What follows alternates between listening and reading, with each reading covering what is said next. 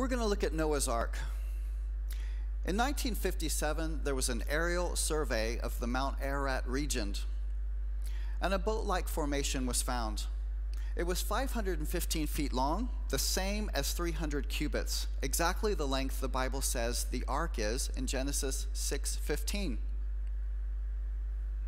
In 1960, an expedition was arranged by Turkish and American individuals who found nothing that they regarded as proof of it being a boat, but their conclusions were premature. In Genesis 8 4, the Bible says the ark rested in the seventh month, on the 17th day of the month, upon the mountains of Ararat. Notice the Bible says on the mountains of Ararat, not the mountain of Ararat. This shape is exactly where the Bible says the ark would be. It's actually 12 miles from Mount Ararat in the mountains of Ararat. In 1977, Ron Wyatt went to the site to do further investigation. Because the Turkish government would not allow excavation, Ron prayed that God would make a way to do so. In 1978, an earthquake better exposed the site. Compare these two images, before and after the earthquake. You can see the sides of the formation have literally fallen away. And because the earthquake better exposed the ark to greater, a greater degree, further detailed study was possible. Soil samples were taken and metal rivets were found. And these were analyzed in Galbraith Labs in Knoxville, Tennessee, and also Los Alamos National Laboratories. And the results were nearly identical. They found trace elements of metals that you don't normally find in nature. Soil samples were tested inside and outside the formation for organic carbon. Outside showed a 1.88 carbon content, and inside showed a 4.95% organic carbon content. Also, these before and after photos show how that removing two inches of topsoil from the sides of the formation reveal vertically banded and colored soil. The darker and lighter colored soils also have a different carbon content. They appear to be beams of prior living matter, like wood, that have melted into the soil over time. In this context, that would make them the ribs of a ship. In 1984, high-tech metal detectors were used on the site, and these showed distinctive metallic readings throughout the site. But most notably, the readings of metal were in a grid shape and produced 13 parallel lines the length of the whole object indicating it was man-made. The results were replicated by other investigators.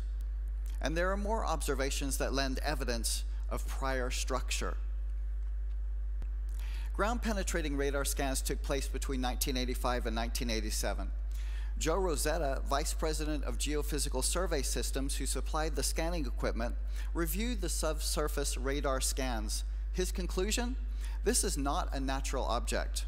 The reflections are occurring too periodic for it to be a natural type of interface. You'd never see anything like this in natural geology. Some human made the structure, whatever it is. Also, 15 anchor stones were found around the site, just like you might find around the Mediterranean Sea, only these were much larger with no water in sight. These could be suspended by ropes behind a ship to point the bow into rough seas. A smaller example from, the, from Israel is shown here. Other artifacts found in the area include drawings, such as this one. It shows a boat and eight people and a rainbow, a clear reference to the biblical story of the eight members of Noah's Ark. Also, a team has carried out electromagnetic resistance scans on the Ark, and you can see some of the evidence here of the structure underneath the soil.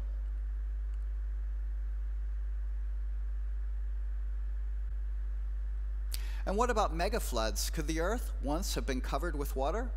Well, it's interesting that scientists say now that Mars was once covered with water. And while evidence is still being compiled, more and more facts are emerging about ancient megafloods on Earth. Great Britain is now believed to have been carved away from mainland Europe by a mega flood event. These give far more plausibility to the account of a worldwide flood in Noah's day. And while meteorologists say that rain alone could not account for such a volume of water, Let's go back to the Bible. It says in Genesis, the rains descended and the fountains of the deep were opened up. This implies that great underground reservoirs of water were released geologically at the same time. So, is the account of Noah's Ark true?